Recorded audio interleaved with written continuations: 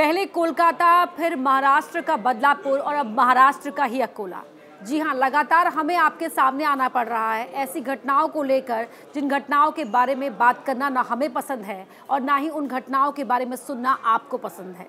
लेकिन घटनाएँ हो रही हैं तो हमें बात भी करनी होगी, आपको सुनना भी होगा। ठाणे में दो मासूम बच्चों के साथ गलत हरकत के बाद, अब महाराष्ट्र के ही अकोला में एक ऐसा मामला आया जिसने सभी को सदमे में ला दिया है। सदमा ये मैं इसलिए कह रही हूँ क्योंकि ये स्कूल कैंपस में हुआ है, वो भी एक नहीं, दो नहीं, बल्कि कई छात्राओं के साथ। किसने किया है? आरोप लगा है स्कूल के ही टीचर पर।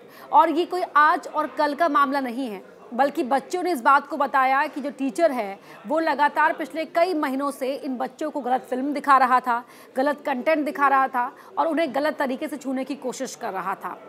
अकोला में ये मामला ज़िला परिषद के एक स्कूल में हुआ है और जहाँ बच्चों ने एक फ़ंक्शन के बाद इस बात की जानकारी दूसरे टीचर्स को दी और अब आरोपी टीचर प्रमोद मनोहर के खिलाफ शिकायत की।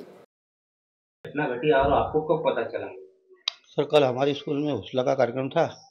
उस समय समुपदेशन किया और उनके बाद वो जयसवाल मैडम बच्ची को मिलने गए आठवीं के सातवीं के। तो कुछ बच्चियों ने बोला कि भैया हमारे साथ ऐसा ऐसा होता। तब तक मेरे को कुछ पता ही नहीं था। ये बच्चियाँ आठवीं क्लास में पढ़ती हैं और छह छात्राएँ हैं जिन्होंने इस बात की शिकायत की है कि जो टीचर प्रमोद है, वो इन्हें गलत तरह की फ़िल्में दिखाकर इनके साथ गलत हरकतें कर रहा था, गलत तरीके से इन्हें छू रहा था। छात्राओं की शिकायत पर पुलिस ने टीचर को अरेस्ट कर लिया है, लेकिन बता दें आपको कि महाराष्ट्र में बीते पंद्रह दिन में बच्चों से छेड़खानी के तीन अलग अलग मामले सामने आ चुके हैं। मामले लगातार सामने आ रहे हैं कार्रवाई की बात कही जा रही है, लेकिन जब तक एक मामले में कार्रवाई होती है, दूसरे मामले में, दूसरे जो घट, जगह से एक घटना एक और सामने आ जाती है। तेरह अगस्त को बदलापुर के आदर्श स्कूल में तेईस साल के स्वीपर अक्षय शिंदे ने तीन और चार साल की दो बच्चों के साथ गलत काम किया, यौन शोषण किया। अक्षय शिंदे को गिरफ़्तार कर लिया है।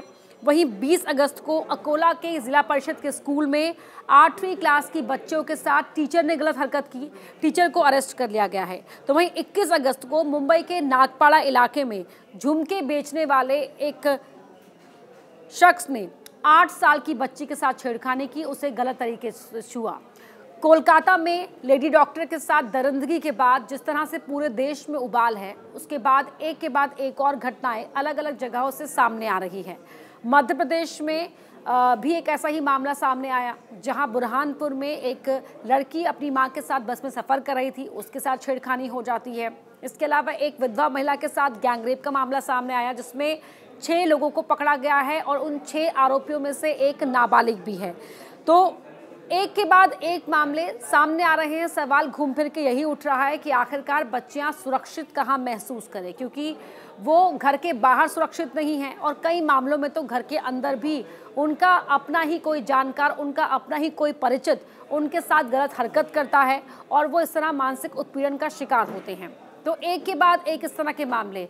यहाँ जो काउंसलर्स हैं, वो कहते हैं, इस बात की ज़रूरत पर ज़ोर देते हैं कि हमें अपने बच्चों को शुरू से ही गुड टच और बैड टच के बारे में बताना होगा। हमें बताना होगा कि उन्हें किसी पर भी विश्वास करने की ज़रूरत नहीं है।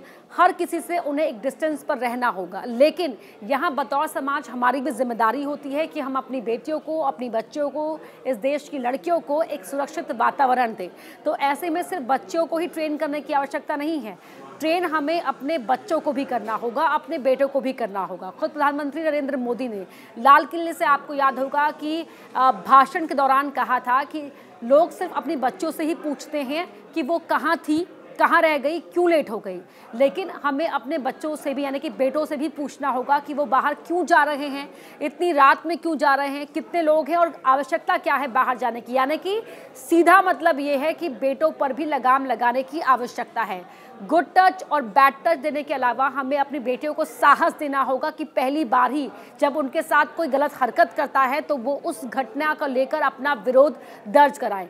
होता क्या है, जो मनोचिकित्सक बताते हैं कि घर में हम अपनी बेटियों की कंडीशनिंग वैसी नहीं कर पाते हैं तो अक्सर वो गलत हरकत होने पर उसका विरोध दर्ज नहीं करा पाती है उतनी मजबूती से। तो ऐसे में सामने वाला बार बार उस बात का फ़ायदा उठाता है, बेटियों की खामोशी का दुरुपयोग करता है। तो हमें घर से ही अपनी छोटी बच्चियों को ही इस बात के लिए तैयार करना होगा कि वो मानसिक तौर पर इतनी मज़बूत रहें, ये साहस दिखा पाए कि वो विरोध दर्ज कराएँ और साथ ही पहली बार ही, चाहे वो कोई भी हो, उनका अपना कोई परिचित हो, अपना उनका कोई रिश्तेदार हो या कोई बाहर का शख्स हो, जैसे ही गलत हरकत करता है, वो इस बात की जानकारी अपने माता पिता को, अपनी माँ को या अपने स्कूल की टीचर को दे। ज़िम्मेदारी यहाँ पर स्कूल के टीचर्स की भी बनती है कि वो देखे कि स्कूल कैंपस में बच्चियाँ खुद को कंफर्टेबल पा रही हैं, नहीं पा रही हैं, और बच्चों के साथ इस तरह की कोई हरकत ना करें। इस बात को लेकर भी ज़िम्मेदारी बतौर समाज हम सबकी बनती है। महाराष्ट्र के ठाणे में, जो बदलापुर में हुआ, जिसके बाद हमने देखा कि उग्र प्रदर्शन वहाँ लोगों ने किया।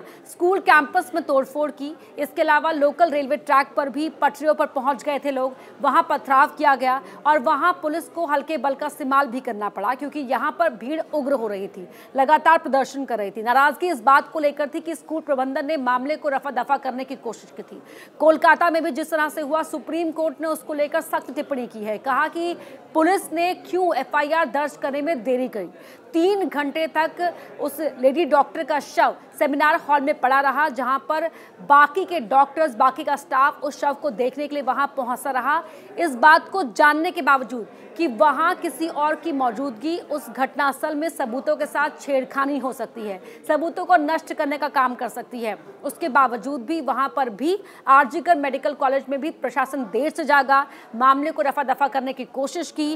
पहले लड़की के माता पिता को बताया कि उनकी बेटी ने सुसाइड किया है और एफआईआर, पहली एफआईआर दर्ज कराने में भी लगभग तीन घंटे का समय लग गया। तो ये दिखाता है कि बतौर जो प्रशासनिक जिम्मेदारियाँ हैं, उससे किस तरह से मुँह चुराया जा रहा है और इस तरह के मामलों में पहली कोशिश होती है मामले को दबाने की, मामले को रफा दफ़ा करने की। और ये जो पहली गलती की जाती है, यही एक बड़ी वजह है कि लगातार इस तरह के मामले सामने आ रहे हैं। सोचना आपको भी होगा, सोचना हमको भी होगा कि आखिर हम बतौर समाज कहाँ गलत जा रहे हैं।